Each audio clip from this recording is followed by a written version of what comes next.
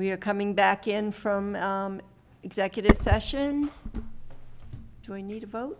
Uh, I'd like to, Just to, motion of uh, approval, I'd like to authorize the town manager to sign and execute the Personnel Administration Plan, PAP. I'll second that motion. and, uh, Tom? Yes. John? Yes, I'm a yes, and David is also a yes. it was unanimous. It was unanimous. Now I need a motion to adjourn. So moved. Moved. Second. Second. Yes. All in favor? Yes. Good night.